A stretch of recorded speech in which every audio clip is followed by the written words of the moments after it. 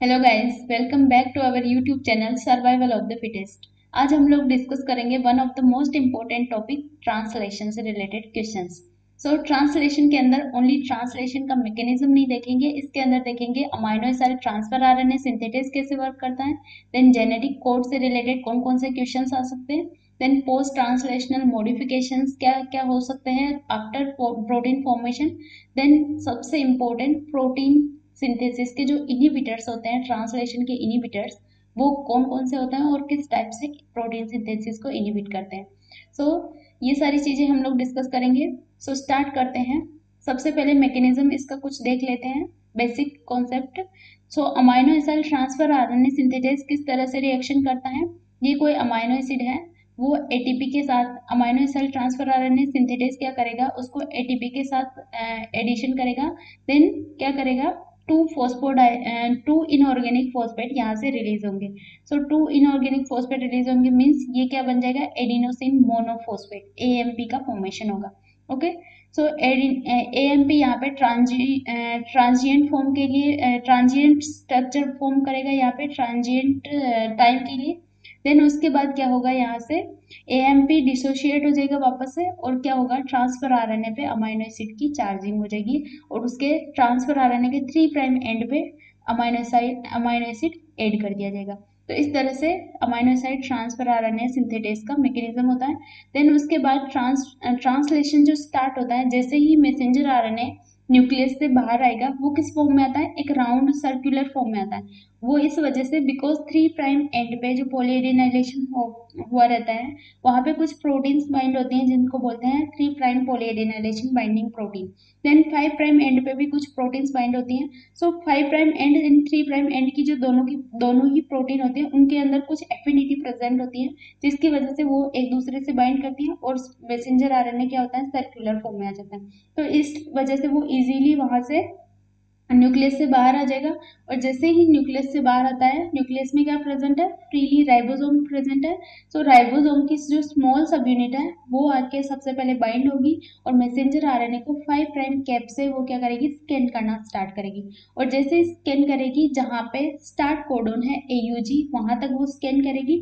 Then उसके बाद वहाँ पे कुछ कन्फर्मेशनल चेंज होंगे like initiation factor three initiation factor first जो बाइंड है स्मॉल सब यूनिट पे वो वहाँ से डिसोशिएट होंगे देन उसके बाद लार्ज सब यूनिट आके बाइंड होती है सो so, इस तरह से ये पूरा मैकेनिज्म होता है और स्टार्ट कोडोन जो प्रेजेंट रहते हैं यू कैरियोट के अंदर एक स्पेसिफिक सीक्वेंस प्रेजेंट रहती है जिसको बोला जाता है कोजेक सीक्वेंस जिसमें स्टार्ट कोडोन प्रेजेंट रहेंगे और प्रो के अंदर जो स्पेसिफिक सीक्वेंस होती है उसको बोला जाता है शाइन डलगर्नो सीक्वेंस तो शाइन डलगर्नो सीक्वेंस जो होती है उससे three to nine nucleotide far थोड़ा दूर प्रेजेंट रहते हैं स्टार्ट कोडोन ओके इस तरह से ये पूरा मैकेनिज्म होता है। ओके सो जैसे ही लार्ज और स्मॉल सब यूनिट दोनों ही सब यूनिट जैसे बाइंड हो जाएगी तो क्या करेगा? अमाइनो एसिड ट्रांसफ़र आरएनए जो चार्ज फॉर्म में है उसको रिक्रूट कराएगा इलोंगेशन फैक्टर टी यू तो इलोंगेशन फैक्टर कब आएगा? जब इलोंगेशन स्टार्ट होगा। इससे पहले कुछ इनिशिएशन फैक्टर टू आएगा, जो क्या करेगा? फ़र्स्ट वाला जो अमाइनो एसिड है मिथियोनिन यू के अंदर और प्रो कैरियोट के अंदर फॉर्माइल मिथियोनिन उसको कौन रिक्रूट करवाता है? इनिशिएशन फैक्टर टू उसके बाद इनिशिएशन फैक्टर डिसोशिएट हो जाता है इलोंगेशन फैक्टर आके बाइंड हो जाते हैं देन उसके बाद क्या होता है? इस तरह से पेप्टाइड बॉन्ड का फॉर्मेशन होता है और ट्रांसलेशन स्टार्ट हो जाता है इलोंगेशन स्टार्ट हो जाता है। ओके तो इसका पूरा मैकेनिज्म देखते हैं कि किस तरह से राइबोसोम में ये स्टार्ट होता है। तो ये स्मॉल सब यूनिट है, ये यहाँ से स्कैन करते हुए यहाँ पे आएगी और ये क्या है? यहाँ स्टार्ट कोडोन है। तो ये start codon A U G present है और ये लार्ज सब यूनिट बाइंड हो चुकी है। लार्ज सब यूनिट के अंदर कुछ स्पेसिफिक साइट्स प्रेजेंट रहती है, जिसको बोलते हैं A side P side and E side तो ए साइड क्या है? एंट्री साइड है जहाँ पे चार्ज ट्रांसफ़र आ रहे हैं, जिसको रिक्रूट कराएगा। सबसे फ़र्स्ट वाले को रिक्रूट करवाता है इनिशिएशन फैक्टर टू जो यहाँ पे रिक्रूट करवाएगा एंट्री साइड पे। देन उसके बाद ये क्या करेगा? यहाँ मूव करेगा। जो इलोंगेशन फैक्टर जी है, वो मूव करवाता है ट्रांसलोकेज का काम करता है वो। देन उसके बाद क्या होगा? पी पे क्या होगा? पेप्टाइड बॉन्ड का फॉर्मेशन होगा। यहाँ पे पेप्टिडाइल ट्रांसफरेज एक्टिविटी प्रेजेंट रहती है twenty three S R R N A के अंदर और यू प्रो कैरियोट के अंदर और यू कैरियोट के अंदर twenty eight S R R N A के अंदर। ओके तो इस तरह से पेप्टाइड बॉन्ड का फॉर्मेशन होगा। ये एंटीकोडोन्स है जो कोडोन के साथ में कॉम्प्लीमेंट्री फॉर्म करेंगे बेसिस फॉर्म करेंगे। उसके बाद क्या होगा? ये जो ट्रांसफ़र आरएनए है ये इस तरह से एग्जिट साइड से यहाँ से रिलीज़ हो जाएगा और ये जो पेप्टाइड बॉन्ड है, ये अमाइनो एसिड है, ये अनदर अमाइनो एसिड के साथ, इसके साथ यहाँ पे पेप्टाइड बॉन्ड फॉर्म करेगा और इस तरह से पॉलीपेप्टाइड सीक्वेंस फॉर्म हो जाएगी। और यहाँ पे कुछ एग्जिट चैनल प्रेजेंट रहता है जिससे पेप्टाइड जो लॉन्ग पेप्टाइड चेन बनती है, वो क्या होती है एग्जिट होती रहती है। देन उसके बाद जैसे ही स्टॉप कोडन आएँगे, यहाँ पे क्या होगा टर्मिनेशन होगा। और टर्मिनेशन किस तरह से होता है? कुछ फैक्टर्स आके बाइंड होंगे, जिसकी वजह से ये सारी चीज़ें जो स्मॉल सब यूनिट है लार्ज सब यूनिट है, ये सब क्या हो जाएँगी? डिसोशिएट होने लग जाएँगी। और उसके बाद क्या हो जाएगा? प्रोटीन का टर्मिनेशन ओके प्रोटीन सिंथेसिस का टर्मिनेशन हो जाएगा। तो इस तरह से स्टॉप कोडन पे होता है टर्मिनेशन स्टॉप कोडन कौन कौन से होते हैं? U G A U A A and U A G okay ये तीनों ही स्टॉप कोडन होते हैं। कुछ एक्सेप्शन है इसके, जिससे रिलेटेड क्वेश्चंस भी अभी हम लोग डिस्कस करेंगे। सो ये पूरा मैकेनिज्म होता है। देन उसके बाद कुछ प्रोटीन्स इन्वॉल्व होती हैं। ये थोड़ा मैशअप हो रहा है यहाँ पे। लेकिन ये प्रोटीन काफ़ी इंपॉर्टेंट है। आपको क्या करना है? एक शीट लेनी है। उस शीट के अंदर क्या करना है? ये सारे प्रोटीन जो प्रोकैरियोट्स की कौन सी हैं यूकैरियोट की कौन सी है, और उनके फ़ंक्शन कौन कौन से हैं? वो सारी चीज़ें नोट करके इसको अपने सामने पेस्ट कर लो, जहाँ पे आप लोग बार बार उसको देख सको रिकॉल कर सको ओके क्योंकि ये आपके एग्ज़ाम में काफ़ी हेल्प करने वाली हैं, और ये ये जो वीडियो लेक्चर है, ये आपके ट्रांसलेशन के लिए मोलिकुलर बायोलॉजी में काफ़ी ज़्यादा इंपॉर्टेंट है। अगर ये सारे क्वेश्चन आपने कर लिए ना तो आपको ट्रांसलेशन से रिलेटेड कोई भी क्वेश्चन मिस नहीं होने वाला। क्योंकि इसमें सारी चीज़ें एक साथ मैंने कंबाइन करने की कोशिश की ओके सो so, इसको एंड तक ज़रूर देखना बिकॉज़ अगर इसमें से जो इम्पोर्टेंट पॉइंट है इसमें जो करेक्ट ऑप्शंस हैं वो अगर आपने नोट कर लिए उनको रिकॉल कर लिया रिवाइज कर लिया उनको अच्छे से समझ लिया तो आपको और अगर आपको मैकेनिज्म पूरा समझ में आ गया ट्रांसलेशन का तो डेफिनेटली आपका ट्रांसलेशन से रिलेटेड कोई भी क्वेश्चन नहीं छूटने वाला ओके सो so, इनिशिएशन में क्या होता है? इनिशिएशन फैक्टर फ़र्स्ट जो क्या करवाता है? ए साइड को ब्लॉक करके रखता है। ओके लार्ज सब यूनिट की ए साइड को ब्लॉक करेगा। उसके बाद क्या होगा? इनिशिएशन फैक्टर टू जो क्या करवाता है? रिक्रूट करवाता है। चार्ज ट्रांसफ़र आरएनए को अभी मैंने बताया था। उसके बाद इनिशिएशन फैक्टर थर्ड जो लार्ज और स्मॉल सब यूनिट की बाइंडिंग को प्रिवेंट करवाने का काम करवाता है। जैसे ही ये डिसोशिएट होगा उसके बाद क्या होगा? लार्ज सब यूनिट आके बाइंड होती है स्मॉल सब यूनिट पे। यही सारे फ़ंक्शन यूकैरियोट के अंदर ये सारे प्रोटीन करते हैं इनका थोड़ा नेम थोड़ा डिफरेंट है। Eu eukaryotic initiation factor first A eu eukaryotic initiation factor two and eukaryotic initiation factor third okay तो ये सारी चीज़ें प्रेजेंट होती है ये सारे इनिशिएशन करवाएँगे देन जैसे ही इनिशिएशन होता है, उसके बाद इलोंगेशन फैक्टर टी यू आता है। इलोंगेशन फैक्टर टी यू क्या करवाता है? अमाइनो एसिड ट्रांसफ़र आरएनए जो सेकंड वाला या अनादर जो अमाइनो एसिड है, चार जो अमाइनो एसिड्स उन अमाइनो एसिड ट्रांसफ़र आरएनए उसको क्या करवाता है? एस्कॉर्टेड टू राइबोसोम उसको रिक्रूट करवाता है राइबोसोम के पास में। देन इलोंगेशन फैक्टर टीएस क्या है? एक ग्वानिन न्यूक्लियोटाइड एक्सचेंज फैक्टर है, जो क्या करवाता है? अपने पास जो जीटीपी प्रेजेंट रहता है इसके पास, ये जीटीपी बाउंड फॉर्म में रहता है, जो क्या करवाता है, अपनी जीटीपी किसको दे देता है टीयू को दे देता है। तो टी यू जो G D P bound form में रिलीज़ होगा, उसको वापस से चार्ज करने का काम कौन करेगा? वापस से जी टी पी में कन्वर्ट करने का काम करता है elongation factor T S okay इसको T S T U cycle भी बोला जाता है। देन उसके बाद इलोंगेशन फैक्टर जी ये एक ट्रांसलोकेज है, जो क्या करवाता है? मैसेंजर आरएनए को थ्री न्यूक्लियोटाइड मूव करवाता है। जिससे प्रोटीन का सिंथेसिस हो रहा है मैसेंजर आरएनए के साथ राइबोसोम बाइंड है स्मॉल और लार्ज सब यूनिट तो जो राइबोसोम की सब यूनिट है, वो मूव नहीं करती आगे जाके। वहाँ पे मूव कौन करवाता है? मैसेंजर आरएनए मूव करता रहता है आगे आगे इस तरह से खिसकता रहता है। और वो क्या करेंगे? इस तरह से जो अमाइनो एसिड है, वो कोड करेंगे और पेप्टाइड उनका फॉर्मेशन होता रहता है। तो यहाँ पे मूवमेंट किसका होता है? मैसेंजर आरएनए का होता है। और वो करवाता है इलोंगेशन फैक्टर जी ओके इन सारी प्रोटीन के नाम यूकैरियोट्स में ये है elongation eukaryotic elongation factor one alpha beta gamma and two जो जी है ट्रांसलोकेज वो क्या है? इलोंगेशन फैक्टर टू है यहाँ पे। क्यू के रूप में। देन उसके बाद क्या होगा? टर्मिनेशन टर्मिनेशन के लिए रिलीज़ फैक्टर आएँगे। Release factor first second and third जो फ़र्स्ट एंड सेकेंड है, वो रिकॉग्नाइज करवाता है यू ए जी को एंड यू जी ए जो स्टॉप कोडन है, उनको रिकॉग्नाइज करेंगे। देन उसके बाद है रिलीज़ फैक्टर थ्री जो क्या करवाता है? डिसोसिएशन करवाता है release factor first and second का। उसके बाद जैसे ही ये सारा जैसे स्टॉप कोडन आएँगे, उनका, उनको रिकॉग्नाइज किया जाएगा। उसके बाद कुछ और प्रोटीन आते हैं जो, जिसको बोलते हैं राइबोसोमल रिलीजिंग फैक्टर तो ribosomal releasing factor and elongation factor G जो जीटीपी बाउंड फॉर्म में आ जाएगा। उसके बाद क्या होगा? Release of small and large subunit of ribosome तो राइबोसोम की जो large and small subunit थी, वो वहाँ से डिसोशिएट हो जाएगी। ओके तो इस तरह से पूरा प्रोसेस होता है और ये सारी प्रोटीन्स इन्वॉल्व होती है ट्रांसलेशन में। अब हम लोग देखते हैं क्वेश्चन सो क्वेश्चन में फ़र्स्ट क्वेश्चन है amino acid transfer RNA are escorted to the ribosome by the elongation factor अभी हमने देखा था कौन सा इलोंगेशन फैक्टर आएगा? जल्दी से रिकॉल करो कौन सा आएगा। अभी आपको देखना नहीं है, कहीं पे भी आंसर खुद से इसको सोल्व करने की कोशिश करो कि यहाँ पे कौन सा इलोंगेशन फैक्टर आएगा।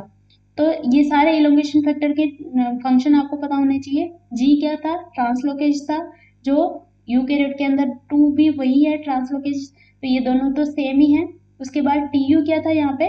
टी यू एस्कोर्टेट कर रहा था अमाइनो एसिड ट्रांसफ़र आरएनए को राइबोसोम के पास में। तो हमारा आंसर हो जाएगा ऑप्शन नंबर थर्ड और टी एस तो क्या था? ग्वानिन न्यूक्लियोटाइड एक्सचेंज फैक्टर तो इन सबके फ़ंक्शन आपको बिल्कुल अच्छे से याद होने चाहिए। सो ऑप्शन नंबर थर्ड क्या हो जाएगा इसका? करेक्ट आंसर नेक्स्ट क्वेश्चन है। The specificity of transfer RNA recognition by amino acid transfer RNA that is intrinsic to the transfer RNA molecule lies on. तो जो ट्रांसफ़र आरएनए को recognise करता है amino acid transfer RNA synthetase वो जो activity present रहती है, वो कहाँ पे प्रेजेंट रहती है? ट्रांसफ़र आरएनए के अंदर ही प्रेजेंट रहती है इंट्रेंसिक एक्टिविटी होती है। तो वो प्रेजेंट रहती है एंटीकोडोन लूप पे। Okay so option number specificity कहाँ रहेगी? एंटीकोडोन लूप पे प्रेजेंट रहेगी। ऑप्शन नंबर सेकंड क्या हो जाएगा इसका? करेक्ट नेक्स्ट क्वेश्चन है. The challenges faced by amino acid transfer R N A in selecting the correct amino acid is more daunting than its recognition for the appropriate transfer R N A तो जो amino acid transfer R N A synthetase होता है, वो क्या करता है? इसमें amino acid transfer RNA synthetase 20 type के प्रेजेंट रहते हैं बिकॉज़ 20 स्टैंडर्ड अमाइनो एसिड होते हैं। उनको चार्ज करना होता है ट्रांसफ़र आरएनए पे। लेकिन ट्रांसफ़र आर एन ए काफ़ी सारे टाइप के होते हैं और आइसो एक्सेप्टिंग होते हैं। एक अमाइनो एसिड एक ट्रांसफ़र आर एन ए अलग अलग अमाइनो एसिड को भी चार्ज कर सकता है। लेकिन उसमें क्या होता है amino acid correct amino acid charge हो ट्रांसफ़र आरएनए पे, उसके लिए अमाइनो एसिड सिंथेटेज के अंदर एक प्रूफ रीडिंग एक्टिविटी प्रेजेंट रहती है, जिसमें एक कैटालिटिक सब यूनिट रहेगी और एक एडिटिंग पॉकेट रहेगा, जिसमें वो अच्छे से चेकिंग करके उसके बाद क्या करता है amino acid transfer RNA amino acid को चार्ज करता है ट्रांसफ़र आरएनए पे ओके सो इसमें क्या है? In case of amino acid with similar structure like valine and isoleucine अब इन दोनों अमाइनो एसिड की सिमिलर स्ट्रक्चर है। तो वहाँ पे रिकॉग्निशन नहीं हो सकता है। हो सकता है कि ट्रांसफ़र आरएनए पे वेलिन की जगह पर आइसोल्यूसिन बाइंड हो जाए। तो उसके लिए कुछ मैकेनिज्म क्या प्रेजेंट रहेगा? This challenge is made by the enzyme possible through its catalytic pocket and editing pocket इसके अंदर दो इस तरह की पॉकेट प्रेजेंट रहती है, जिसमें वो अच्छे से चेकिंग करेगा देन उसके बाद क्या करेगा? जो कर इनकरेक्ट अमाइनो एसिड अगर बाइंड हो गई उसको वहाँ से कैटेलाइज करेगा देन उसके बाद एडिटिंग पॉकेट में क्या करेगा? करेक्ट अमाइनो एसिड को चार्ज करेगा वापस से। तो ये दोनों ही मैकेनिज्म प्रेजेंट रहते हैं। ए एंड बी क्या हो जाएगा इसका? करेक्ट स्टेटमेंट पूछा है। So A and B is the correct statement so कितना सिंपल क्वेश्चन है।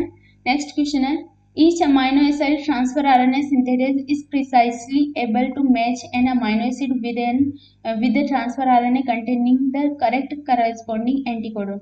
अब देख लो सेम सेम इसमें uh, वही कॉन्सेप्ट लगेगा लेकिन इसमें थोड़ी सी लैंग्वेज चेंज है ओके देन उसके बाद क्या है most organism have 20 different transfer RNA synthetase अब इस टाइप का क्वेश्चन हमने कितनी ही बार देखा है अभी लास्ट टाइम जब दिसंबर 2019 में भी इस टाइप का क्वेश्चन पूछा गया था सो so, इसमें क्या है?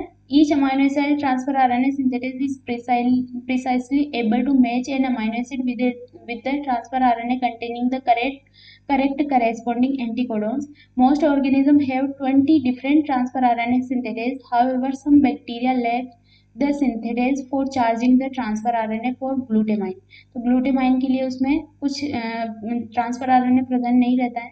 With its cognate amino acid how do these bacteria manage to incorporate glutamine in their protein. Choose the correct answer. तो इसमें क्या होता है? ग्लूटामाइन का इनकॉर्पोरेशन कैसे होगा?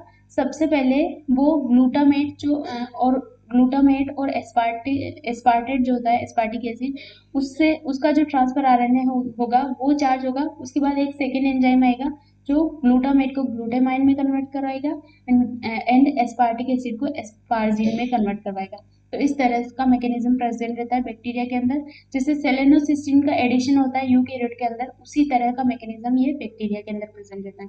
So in these bacteria the aminoacyl transfer R N A synthetase specific for transfer R N A glutamate also charge transfer R N A glutamine with glutamate a second enzyme then convert the glutamate of the charge transfer R N A to glutamine okay so option number third क्या हो जाएगा इसका? बिल्कुल correct answer हो जाएगा। Then next question है। ये भी वही सेम कॉन्सेप्ट से क्वेश्चन है। Many organism encode only 18 amino acid transfer RNA synthetase these organisms lacks are that as asparagine और glutamine asparagine and glutamine present नहीं रहता है।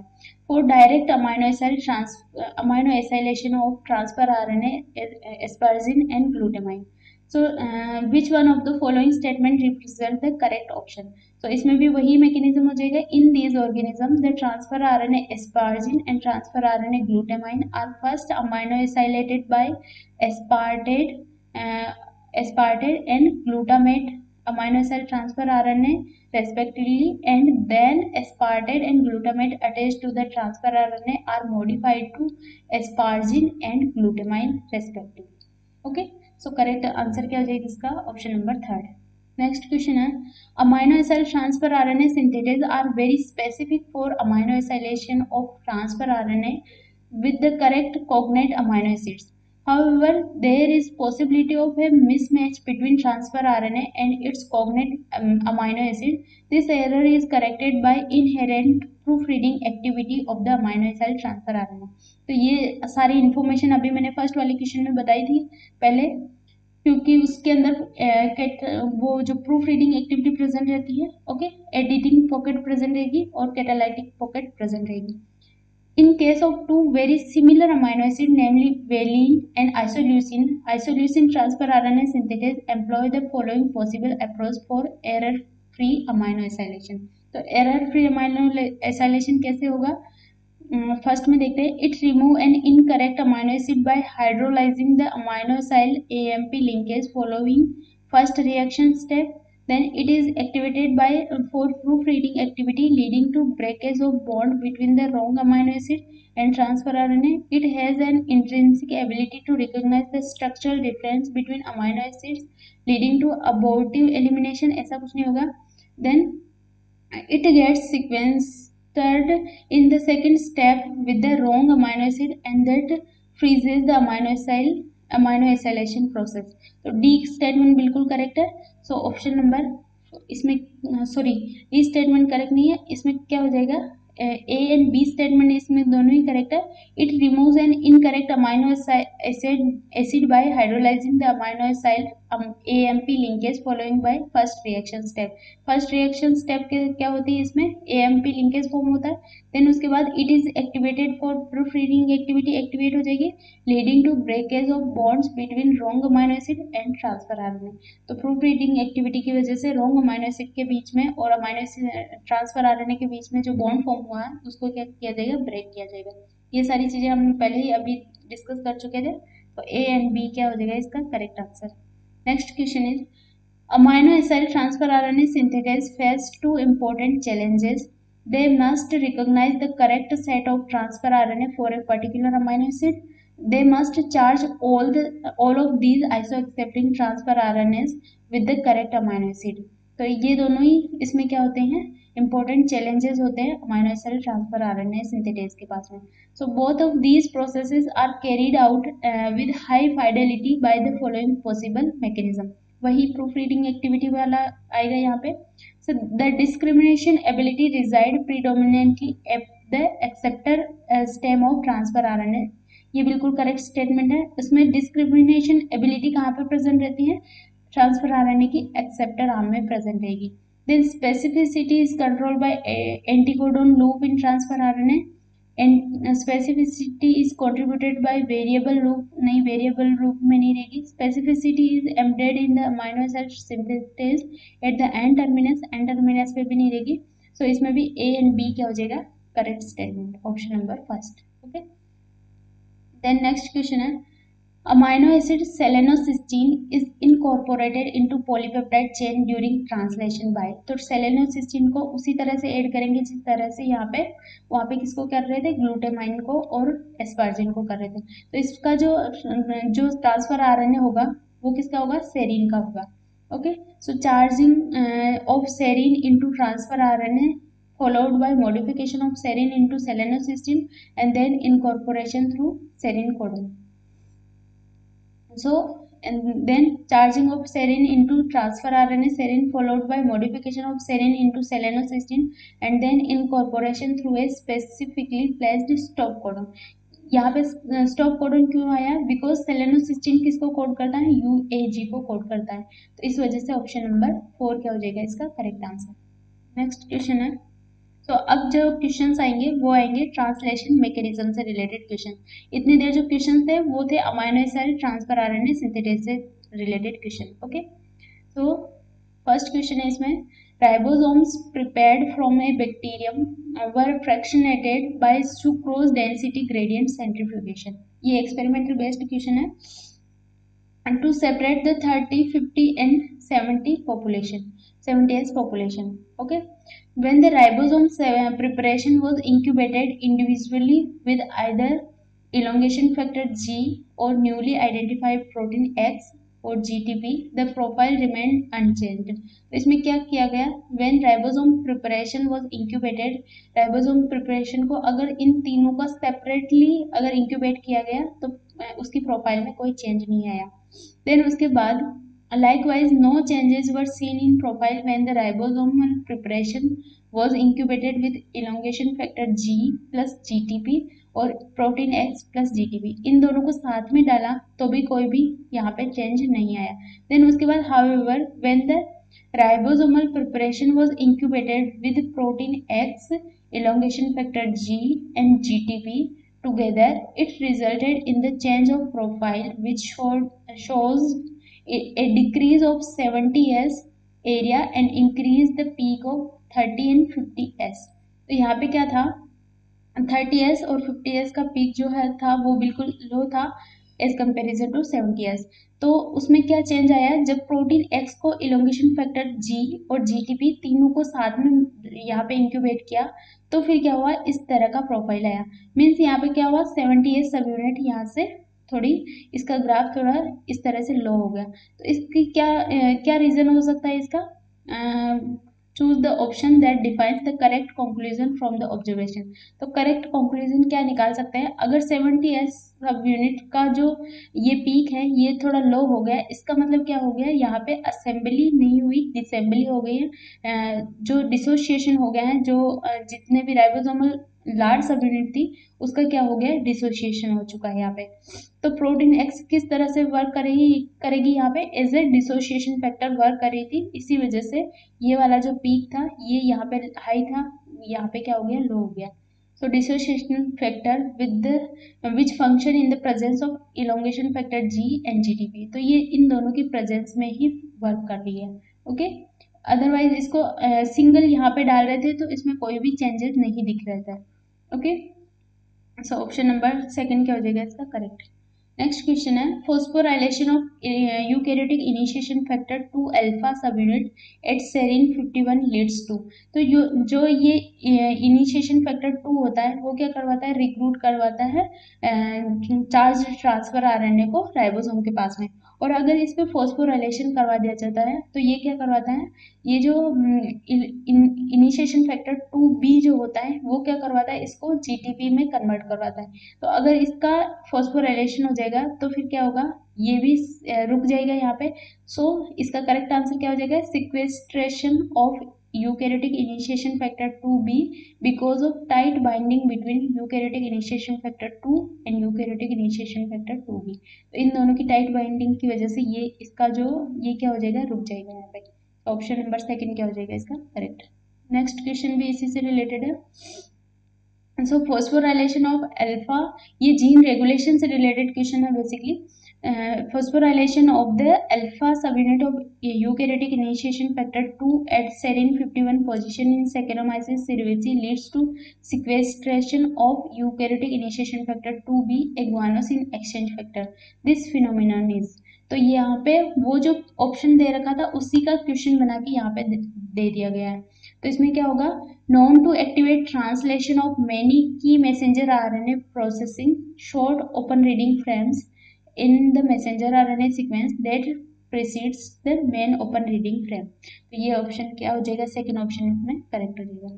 देन नेक्स्ट क्वेश्चन है during each cycle of chain elongation in translation how many conformational changes does the ribosome undergo that are coupled to G T P hydrolysis तो G T P hydrolysis यहाँ पे elongation process में कितना होता है? Two type का GTP hydrolysis होता है, एक होता है इलोंगेशन फैक्टर टी यू पे और एक होता है इलोंगेशन फैक्टर टी एस जो क्या करेगा इलोंगेशन फैक्टर टी यू को क्या करेगा चार्ज करने के लिए यूज़ करेगा। तो ऑप्शन नंबर थर्ड क्या हो जाएगा, इसका करेक्ट आंसर टू जीटीपी का हाइड्रोलाइसिस होता है। देन नेक्स्ट है what is the minimum number of NTP nucleotide triphosphates required for the formation of one peptide bond during protein synthesis तो वन पेप्टाइड बॉन्ड फॉर्मेशन के लिए कितने require कितने nucleotide triphosphate चाहिए यहाँ पे? फोर न्यूक्लियोटाइड ट्राइफॉस्फेट चाहिए। और अगर इसको काउंट करें अगर अमाइनो एसिड ट्रांसफ़र आरएनए के साथ में जो एटीपी यूज़ हो रही थी उसको भी अगर काउंट करें तो यहाँ पे टोटल फाइव होने चाहिए बिकॉज़ एएमपी का फॉर्मेशन हो रहा था। ओके सो so, इस तरह से देखें तो यहाँ पे कितने हो रहे हैं? और बाकी कितने हो जाएँगे? फोर एटीपी का फोर न्यूक्लियोटाइड ट्राइफॉस्फेट यूज़ हो जाएँगे, जिसमें टू तो इलोंगेशन के टाइम यूज़ होते हैं ओके और एक ट्रांसलोकेशन के टाइम होता है, और एक क्या होता है? चार्ज करने के टाइम यूज़ होता है। तो इस तरह से फोर न्यूक्लियोटाइड ट्राइफॉस्फेट का यूज़ होता है। ऑप्शन नंबर थर्ड क्या हो जाएगा इसका? Correct next question is which one of the following statements about eukaryotic translation is not true तो यहाँ पे नॉट ट्रू पूछा है in eukaryotic translation ribosome binding site on messenger RNA is called Kozak sequences. Causes consensus sequences. ये तो बिल्कुल correct है। Then initiation trans initiator transfer RNA is transfer RNA F Met तो यू के के अंदर एफ़ मेट नहीं होता है मिथ्योनिन होता है ओनली सो ये ऑप्शन रॉन्ग हो जाएगा। उसके बाद initiator amino acid is methionine correct है? Translocation factor is eukaryotic initiation factor two तो ये करेक्ट है, क्योंकि प्रोकैरियोट में क्या होगा? यहाँ पे इलोंगेशन फैक्टर जी होता है, लेकिन यूकैरियोट में यूकैरियोटिक इलोंगेशन फैक्टर टू होता है। ओके तो ये सारे याद रखने आपको। बार बार इसको रिवाइज करते रहो। सो ऑप्शन नंबर सेकंड क्या हो जाएगा इसका? इनकरेक्ट नोट पूछा। Then next question is during protein synthesis in prokaryotes, the peptidyl transferase activity is required for peptide bond formation is due to. तो ये कहाँ पे प्रेजेंट रहती है? कितनी ही बार बता चुकी हूँ कि 23S राइबोसोमल आरएनए के अंदर पेप्टिडाइल ट्रांसफरेज एक्टिविटी प्रेजेंट रहती है। और यही यूकैरियोट के अंदर 20S twenty eight S ribosomal RNA के अंदर प्रेजेंट रहेगी तो ऑप्शन नंबर थर्ड क्या हो जाएगा इसका? Correct answer next question is Which one of the following name is appropriate for the sequence? G, A A N N A U G तो ये जो सीक्वेंस होती है, इसको बोला जाता है कोजेक सीक्वेंस और शैंटल गर्गनो सीक्वेंस में क्या होता है? यहाँ पे A U G A U G इस तरह की सीक्वेंस प्रेजेंट रहती है.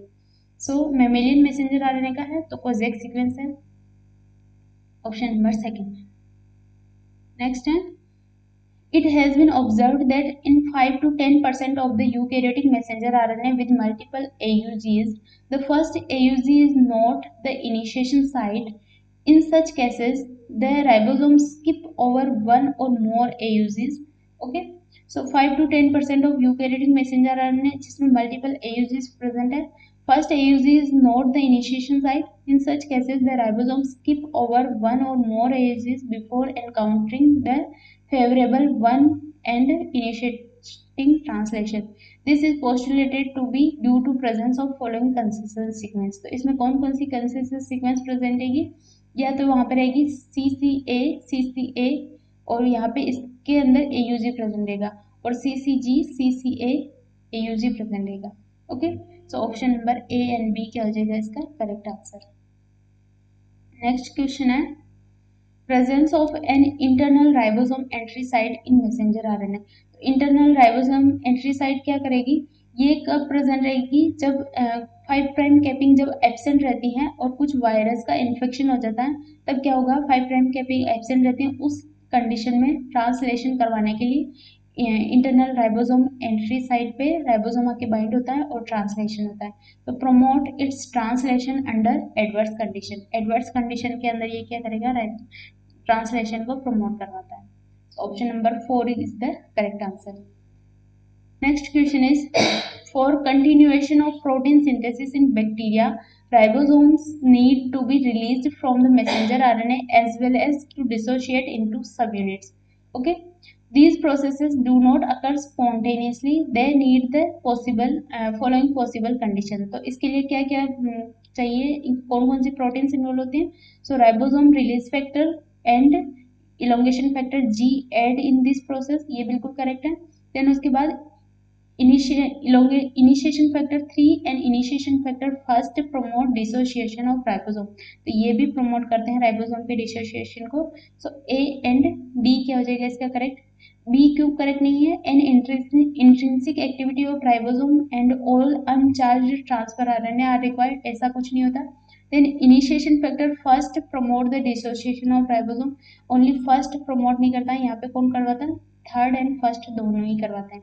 तो option number A and D first क्या हो जाएगा इसका? Correct answer next question is presence of circular messenger R N A for specific proteins protein in an eukaryotic cell reflect a rapid rate of synthesis of that proteins following mechanism are suggested. तो मैंने बताया था, जैसे कि circular messenger RNA present रहता है तो वहाँ पे क्या क्या रहेगा फाइव प्राइम के पे जो प्रेजेंट रहती है प्रोटीन तो उसको बोलते हैं eukaryotic initiation factor four G and polyadenylation binding protein जो थ्री प्राइम एंड पे प्रेजेंट रहेगी promote this process through five prime to three prime interaction of messenger RNA okay तो ये करेक्ट है उसके बाद polyadenylation binding protein and eukaryotic initiation factor four A promote this process तो ये दोनों ही स्टेटमेंट क्या हो जाएँगे? करेक्ट बाकी स्टेटमेंट यहाँ पे रॉन्ग है। So A and C is the correct answer option number third then next question है। During elongation step or protein synthesis, translocation moves the messenger RNA and peptidyl transfer RNA by one codon through the ribosome okay जिसको elongation factor G करवाता है translocation की तरफ़ work करता है translocation in E coli involve GTP and eukaryote sorry elongation factor G However, in vitro translation cannot take can take place independent of GTP. जब इसको in vitro करवाते हैं तो जीटीपी से इंडिपेंडेंट होता है। जीटीपी की रिक्वायरमेंट नहीं होती है और इलोंगेशन फैक्टर जी की भी रिक्वायरमेंट नहीं होती।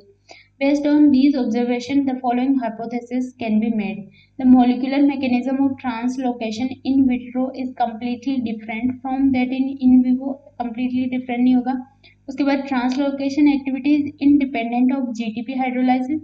Translocation activity is completely dependent on GTP and completely dependent नहीं है यहाँ पे then translocation activity is inherent in ribosome however the rate of translocation in vivo is enhanced significantly in presence of GTP and elongation factor G तो ये इस ribosome के अंदर inherently present रहेगी लेकिन इनकी प्रेजेंस में ये एनहांस हो सकती है ऑप्शन नंबर डी क्या हो जाएगा हमारा बिल्कुल appropriate answer Next question is a protein has four equally spaced trypsin sensitive sites. तो ये एक्सपेरिमेंटल बेस्ड क्वेश्चन है। इसको अच्छे से रीड करके इसको ड्रॉ करने की ज़रूरत है।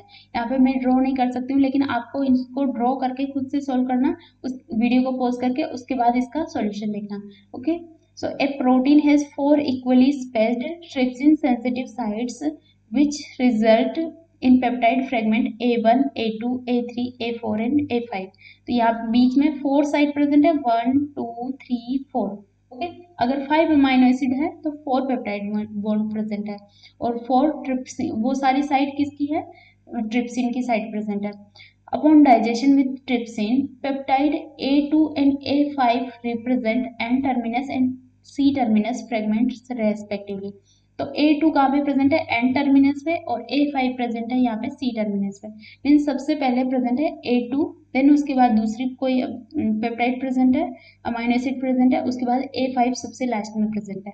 Okay so now you are asked to synthesis this protein at time T zero you have you added all the twenty amino acids labelled with fourteen C fourteen and initiated the synthesis at the time T four full length of protein is synthesize तो T four पे क्या होता है? Full length synthesize हो जाती है।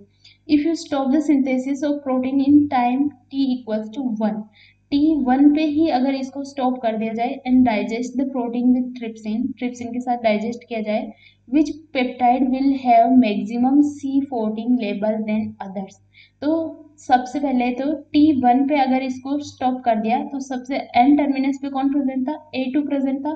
तो maximum C fourteen labelling किसमें दिखेगी यहाँ पे? सिर्फ़ ए टू के अंदर दिखेगी। बिकॉज़ बाकी तो सारी यहाँ पे सिंथेसाइज ही नहीं हुई है।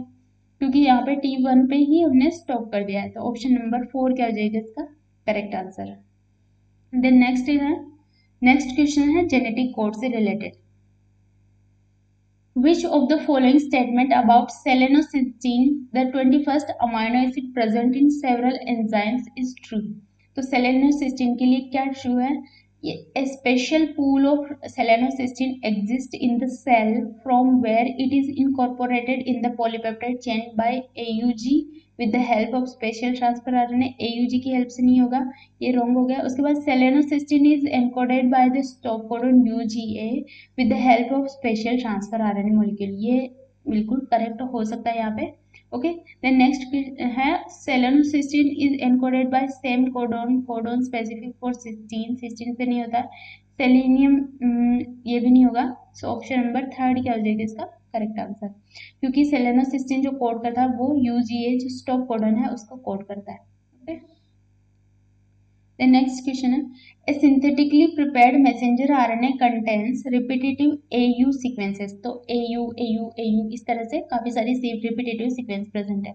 The messenger RNA was incubated with mammalian cell extract which contain ribosomes, transfer RNAs and all the factors required for protein synthesis. तो सारे protein synthesis से required जितने भी factor हैं वहाँ present है. Then assuming no initiation codon is required for protein synthesis अगर कोई भी इनिशिएशन कोडोन भी यहाँ पे रिक्वायरमेंट नहीं है which one of the following peptide will most likely to be synthesize अगर यहाँ पे A U A U repetitive sequence present है एंड यहाँ पे कोई स्टॉप कोडोन की ज़रूरत नहीं है तो फिर क्या होगा? A U A U A U तो यहाँ पे कितनी पॉसिबिलिटी हो सकती है? ए यू ए एक पॉसिबिलिटी ये हो गई एक अमाइनो उसके बाद यू ए ए एक पॉसिबिलिटी ये हो गई उसके बाद क्या हो जाएगा? ए ए यू तो थ्री तो अमाइनो एसिड फॉर्म होंगे और पेप्टाइड कितना होगा? सिंगल पेप्टाइड फॉर्म होगा। तो इस तरह से अगर देखें ऑप्शन में तो a single peptide compose of same amino acid नहीं सेम अमाइनो एसिड सीक्वेंस नहीं होगी। A single peptide with alternating sequence of two amino acid two amino acid नहीं होंगे थ्री अमाइनो एसिड होने चाहिए यहाँ पे। So a single peptide with alternating sequence of three amino acid ये बिल्कुल करेक्ट हो जाएगा। देन थ्री डिफरेंट पेप्टाइड तो होगा ही नहीं यहाँ पे। सो so, पेप्टाइड तो सिर्फ़ वन ही फॉर्म होगा लेकिन A U A U A A and A A U इस तरह से three amino acid different form हो सकते हैं। इसका कॉम्बिनेशन बना के देखें तो। सो ऑप्शन नंबर थर्ड क्या हो जाएगा इसका? Correct answer next question is in gene regulation open reading frame implies open reading frame में क्या प्रेजेंट रहता है? Intervening nucleotide sequence in between two genes a series of triplet codon not interrupted by stop codon a series of triplet codon open reading frame क्या होते हैं basically जिसके अंदर एक तो स्टार्ट कोडोन हो और एक स्टॉप कोडोन हो. So a series of triplet codon that begin with a start codon and end with a stop codon तो ये बिल्कुल करेक्ट है. ट्रिपलेट कोडोन की सीरीज़ होती है जिसमें स्टार्ट कोडोन होता है एंड एंड कहाँ पे होता है? स्टॉप कोडन पे। तो ऑप्शन नंबर थर्ड क्या हो जाएगा इसका? करेक्ट आंसर नेक्स्ट क्वेश्चन है। A deletion of three consecutive consecutive bases in the coding region of gene cannot result in तो अगर थ्री कॉन्जिक्यूटिव बेसिस के अंदर डिलीशन हो गया तो वहाँ पे क्या क्या पॉसिबिलिटी है? लाइक यहाँ पे अमाइनो एसिड की काफ़ी सारे सीक्वेंस प्रेजेंट है और एक कोडोन के अंदर थ्री के अंदर अगर थ्री बेसिस के अंदर डिलीशन हुआ है इट मीन्स एक पूरा कोडोन वहाँ से डिलीट हो गया। तो deletion of single amino acid three codon three bases जो होते हैं, उसको एक सिंगल अमाइनो एसिड कोड करेगा। तो सिंगल अमाइनो एसिड नहीं रहेगा, वहाँ पे हो सकता है डिलीशन हो जाए एक अमाइनो एसिड का। और ये भी हो सकता है कि replacement of two adjacent amino acids by a single amino acid हो सकता है वहाँ पे सेम सेम अमाइनो एसिड आ रहे हो कंटिन्यूसली तो वहाँ टू अगर सेम अमाइनो एसिड आ रहे हैं तो एक में अगर डिलीशन हो गया तो वहाँ पे एक सिंगल अमाइनो एसिड बचे, बचा रह जाएगा. ये भी हो सकता है. Then replacement of a single amino acid by another without any other change in sequence of protein ये भी पॉसिबिलिटी है. Then production of truncated protein तो ट्रंकेटेड प्रोटीन यहाँ पे फॉर्म नहीं होगी। इस टाइप का जो म्यूटेशन होता है, उसको बोला जाता है no same sense mutation sorry same sense mutation नहीं बोलेंगे। इसमें क्या होता है, अगर थ्री कोडोन के अंदर म्यूटेशन हो जाए तो ये इसमें प्रोटीन जो मिस या जो ट्रंकेटेड प्रोटीन है, वो बनने के चांसेस काफ़ी कम होते हैं बिकॉज़ वहाँ पे सिर्फ़ वन अमाइनो एसिड में चेंज आएगा। Okay so option number four क्या हो जाएगा इसका? करेक्ट क्योंकि यहाँ पे क्या पूछा है? कैन नॉट रिज़ल्ट तो ट्रंकेटेड प्रोटीन नहीं फॉर्म होगी, बाकी ये सारी चीज़ें फॉर्म हो सकती हैं डिलीशन हो सकता है कुछ, या रिप्लेसमेंट हो सकता है कुछ अमाइन एसिड का okay then next is Imagine the following RNA sequence is translated in the mammalian cytosol and mitochondria. RNA sequences, RNA sequence क्या है AUG, AUA, CUG इस तरह की कोई RNA sequence है Following are some putative peptide sequences. तो ये peptide sequence है जिसके अंदर ये amino acid है ओके साइटोसोल के अंदर और माइट्रोकोन्ड्रिया के अंदर. Find out the correct combination of peptide made in the cytosol and mitochondria तो इस टाइप के क्वेश्चन हमने डीबीटी जेआरएफ के अंदर काफ़ी सारे क्वेश्चन डिस्कस किए थे. तो जो भी क्वेश्चन होते हैं, किसी भी एग्ज़ाम में लाइफ साइंसेज से रिलेटेड किस, कोई भी एग्ज़ाम ले लो क्वेश्चन का जो बेसिक कॉन्सेप्ट होता है, वो बिल्कुल सिमिलर होता है. इसमें थोड़ी सी लैंग्वेज घुमा फिरा के दे देते हैं इसको थोड़ा टफ बना के दे देते हैं लेकिन बेसिक जो उसका कॉन्सेप्ट रहेगा, वो वही रहेगा। इसलिए आपको डीबीटी जेआरएफ वाले जो क्वेश्चन है क्वेश्चन सारे सोल्व करने चाहिए, ताकि आपका जो बेसिक है, वो बिल्कुल क्लियर हो जाए ओके तो इसमें साइटोसोलिक मैसेज जो आरएनए होता है, उसको और माइट्रोकॉन्ड्रियल आरएनए के लिए कुछ कोडोन्स जो होते हैं, कुछ थोड़े माइट्रोकॉन्ड्रियल आरएनए के अंदर कुछ डिफरेंट कोडोन प्रेजेंट रहते हैं ओके बाकी कोडोन सारी यूनिवर्सल हैं, सबके अंदर सेम प्रेजेंट रहेंगे, लेकिन कुछ एक्सेप्शन है माइट्रोकॉन्ड्रियल माइट्रोकॉन्ड्रिया के अंदर तो वो एक्सेप्शन हम लोग देखेंगे। तो ए यूनिवर्सल स्टार्ट कोडोन है। लेकिन यहाँ पे क्या होगा? ये अनादर मिथ्योनिन को कोड करेगा, लेकिन स्टार्ट कोडोन नहीं हो सकता। सॉरी स्टार्ट कोडोन ही होगा। और देखते हैं यहाँ पे। सो so, साइटोसोल के अंदर ये A U G start codon है मिथ्योनिन को कोड करेगा उसके बाद ए यू ए आइसोल्यूसिन को कोड करता है देन सी यू जी करता है ल्यूसिन को कोड उसके बाद यू जी ए साइटोसोल में स्टॉप कोडोन की तरह वर्क करेगा। तो यहाँ से स्टॉप हो जाएगा तो थ्री अमाइनो एसिड की थ्री अमाइनो एसिड की यहाँ पे पेप्टाइड सीक्वेंस फॉर्म होगी साइटोसोल के अगर आर एन ए है तो। अगर यही R N A mitochondrial R N A होता तो क्या होता? ए यू जी मिथ्योनिन को कोड करता है। ए यू ए भी मिथियोनिन को कोड करता है सी यू जी ल्यूसिन को कोड करता है, उसके बाद यू जी ए यहाँ पे स्टॉप कोडोन की तरह वर्क नहीं करता, जबकि क्या करता है ट्रिप्टोफैन को कोड करता है। तो ये यहाँ पे एक्सेप्शन है माइट्रोकॉन्ड्रिया के अंदर U G A as a tryptophan को कोड करेगा स्टॉप कोडोन वर्क नहीं करता है। ये चीज़ इंपॉर्टेंट है, इसको नोट करना। देन उसके बाद सी यू यू ल्यूसिन को कोड करता है, और माइट्रोकॉन्ड्रिया के अंदर जो स्टॉप कोडोन होता है, वो क्या होता है A G G okay so mitochondria के अंदर स्टॉप कोडन एजीजी होगा और जो यूनिवर्सल स्टॉप कोडन है वो किसको कोड करता है? ट्रिप्टोफान को कोड करता है माइटोकॉन्ड्रिया में। सो so, यहाँ पे क्या हो जाएगा? करेक्ट कॉम्बिनेशन साइटोसोल के अंदर तो फ़र्स्ट वाला ही करेक्ट है और माइटोकॉन्ड्रिया के अंदर methionine methionine leucine tryptophan and leucine so first and second क्या हो जाएगा इसका? करेक्ट सेकेंड ऑप्शन करेक्ट है। नेक्स्ट क्वेश्चन इज़ अब नेक्स्ट क्वेश्चन है पोस्ट ट्रांसलेशनल मॉडिफिकेशन से रिलेटेड क्वेश्चन तो इसमें देखते हैं which one of the following modification of protein is co translation co translation means translation के साथ में ऐसा कौन सा मॉडिफिकेशन होता है? तो मेरिस्टोलेशन जो होता है, वो क्या होता है? इसका को ट्रांसलेशनल मॉडिफिकेशन है। मेरिस्टोलेशन मीन्स वहाँ पे कोई ना कोई fatty acid fatty acid myristoic myristoic acid यहाँ पे मेरिस्टाइल एसिड अटैच्ड होगा ओके तो ऑप्शन नंबर सेकंड क्या हो जाएगा इसका? Correct addition of cholesterol palmitoylation farnesylation ऐसा कुछ नहीं होगा। देन नेक्स्ट है which one of the following is not a post translational modification in a mammalian system तो ऐसा कौन सा पोस्ट ट्रांसलेशनल मॉडिफिकेशन नहीं है? सो so, ग्लाइकोसाइलेशन तो है हमें पता है O linked and N linked glycosylation phosphorylation भी होता है काफ़ी सारे प्रोटीन्स पे एक्टिवेट और डीएक्टिवेट करने के लिए। देन पामिटोलेशन भी होता है लेकिन पेप्टिडाइलेशन ऐसा कोई भी मॉडिफिकेशन नहीं है। सो ऑप्शन नंबर थर्ड क्या हो जाएगा इसका? Correct next question is in prokaryotes the initiated transfer RNA is first charged with a methionine okay methionine से चार्ज होता है followed by the addition of a formyl group to the methionine by the enzyme methionine transfer RNA transformylase okay given below the few several statements in this context तो prokaryotes के अंदर formyl methionine होता है All prokaryotic proteins have formal methionine at their amino terminal end. Terminal end पे नहीं होगा। तो ये सॉरी ऑल प्रोकेरियोट्स नहीं हो सकते यहाँ पे। सो ऑप्शन नंबर फ़र्स्ट तो रॉन्ग तो हो जाएगा। Then deformylase remove the formyl group from the amino terminal methionine जैसे ही प्रोटीन का सिंथेसिस होता है डी फॉर्माइलाइज क्या करेगा? फॉर्माइल ग्रुप को रिमूव कर देगा। ये करेक्ट है? देन उसके बाद all prokaryotic proteins have methionine at their amino terminal end ये तो रॉन्ग हो जाएगा। उसके बाद अमाइनो पेप्टाइडेजेज कुछ एंजाइम्स होते हैं often remove the amino terminal methionine तो अमाइनो टर्मिनल मिथ्योनिन को भी रिमूव कर दिया जाएगा और उसके साथ साथ और अनदर एट टू टेन और जो two two three amino acid को और वहाँ से रिमूव करते हैं मिथ्योनिन के साथ में भी। सो ऑप्शन नंबर यहाँ पे क्या हो जाएगा? बी एंड डी करेक्ट हो जाएगा। B and D option number four क्यों पूछा है इसमें? Next question is in bacteria N formyl methionine is the first amino acid to be incorporated into a polypeptide chain accordingly one would think that all bacterial protein a formyl group at their amino terminus and the first amino acid is methionine. However this uh, is not the case.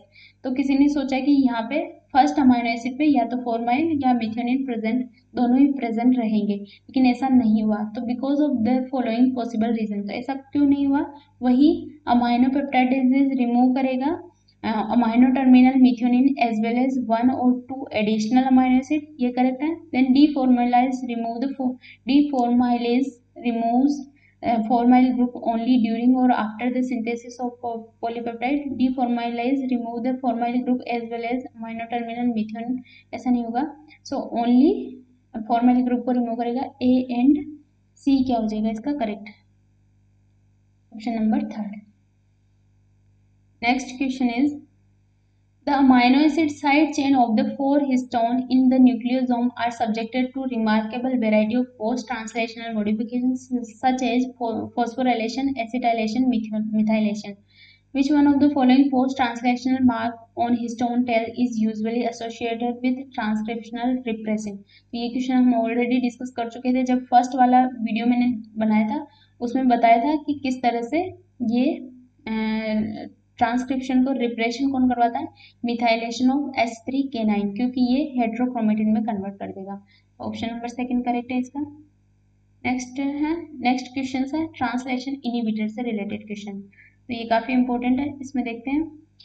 During eukaryotic protein synthesis, stress condition result in activation of specific kinases leading to phosphorylation of a key translation initiation factor that inhibit protein synthesis from a large number of cellular messenger RNA, which uh, one of the following factor is targeted to the kinases tar target of kinases तो ये अभी हमने देखा था eukaryotic initiation factor two alpha जो होता है उसको क्या किया जाता है फॉस्फोराइलेटेड किया जाता है ऑप्शन नंबर थर्ड करेक्ट है Next question is, chloramphenicol is a broad spectrum antibiotic which inhibits protein synthesis in prokaryotes. तो chloramphenicol क्या करता है? 23S राइबोसोम सब यूनिट की जो पेप्टाइडाइल ट्रांसफेरेज एक्टिविटी है, उसको इनिबिट करता है। Given below are a few statements regarding the mode of action of chloramphenicol तो क्लोरमफेनिकोल किसको इनिबिट करेगा? Peptidyl transferase activity of ribosome बिल्कुल करेक्ट है। Chloramphenicol can be used to treat moderate to severe infection uh, because mitochondrial ribosome are non sensitive ऐसा कुछ नहीं होगा chloramphenicol bind to one of the domain of 23 srRNA ये भी correct है so A and C statement यहाँ पे correct हो जाएँगे okay so correctly the mechanism action of chloramphenicol is option number second next question है puromycin is an antibiotic used to inhibit protein synthesis. Given below are few statements about the antibiotic. Puromycin किसको inhibit करता है? ये trans amino acid transfer RNA की structure से resemble करता है okay okay? और प्रोटीन के इनिशिएशन को सिंथेसिस को रोकता है। तो it enter the E site of ribosome where is it prevent E site भी नहीं होगा। It block the translocation then ये भी नहीं होगा। Puromycin resemble the initiated transfer RNA transfer RNA F met and bind exclusively to the p site. it resembles the amino acid transfer rna and bind um, to the bind to the a side of the ribosome ये बिल्कुल correct है उसके बाद puromycin inhibits only in prokaryotic protein synthesis prokaryotic के अंदर नहीं करता। ये प्रोकैरियोटिक एंड यूकैरियोटिक दोनों के अंदर ही क्या करता है? प्रोटीन के सिंथेसिस को इनिबिट करता है। सो डी एंड एफ़ क्या हो जाएगा यहाँ पे करेक्ट क्योंकि ये रिजेंबल करता है अमाइनो एसिड ट्रांसफ़र आरएनए से और बाइंड कहाँ पे होता है? ए साइड पे। राइबोसोम की ए साइड पे बाइंड होगा। देन ये प्रोकैरियोट्स और यूकैरियोट्स दोनों के अंदर ही प्रोटीन सिंथेसिस को इनिबिट कर सकता है। सो ट्रू स्टेटमेंट कौन सा हो जाएगा? D and F option number third Question is during heat shock uh, during heat shock mammalian cells shut down global protein synthesis while including heat shock protein. Okay, the possible molecular regulation that could explain the phenomena. तो इसमें क्या होगा messenger RNA of all proteins except those of heat shock protein undergoes degradation during heat shock Cap-dependent translation of most messenger RNA is affected during heat shock due to denaturation of cap binding protein eukaryotic initiation factor 4e ये बिल्कुल correct हो जाएगा। उसके बाद translation initiation of heat shock proteins messenger RNA take place through their internal ribosome entry site then heat shock protein messenger RNA क्या होगा? Are abundant during heat shock ऐसा नहीं होगा। तो बी एंड सी ऑप्शन क्या हो जाएगा यहाँ पे? करेक्ट स्टेटमेंट हो जाएगा। करेक्ट ही पूछा है यहाँ पे। Next question is when one isolates ribosome from bacterial lysate apart from 70s, 50s, 30s. Okay. Ribosomal subunit 1 also find a small population of 100s, 130s, 150s uh, subunits. EDTA dissociates these larger subunits, these larger ribosomal subunits into 50s and 30s suggesting that they have both the subunits okay upon addition of cations they, they reassociate into 70s but none of the other forms could be detected what is the reason of for not obtaining greater than 70s form तो greater than 70s form यहाँ पे detect क्यों नहीं हुई उससे क्या reason हो सकता है because 100s and 130s etc represent polysome that cannot be resembled de novo without other cellular components Components तो इसका ये अप्रोप्रिएट रीजन है option number third then next question is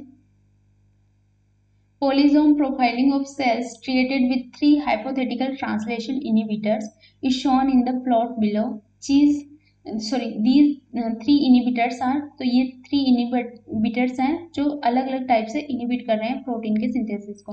so so, ये क्या है? लीकी इनिबिटर ऑफ़ ट्रांसलेशन ये है arrest ribosome at the initiation codon and ये इनिबिट कर रहा है राइबोसोम की स्कैनिंग को। तो अगर स्कैनिंग को इनिबिट कर रहा है, वो क्या होगा? यहाँ पे forty S and sixty S subunit है। Eighty S subunit present नहीं है। इट मीन्स ये क्या करेगा?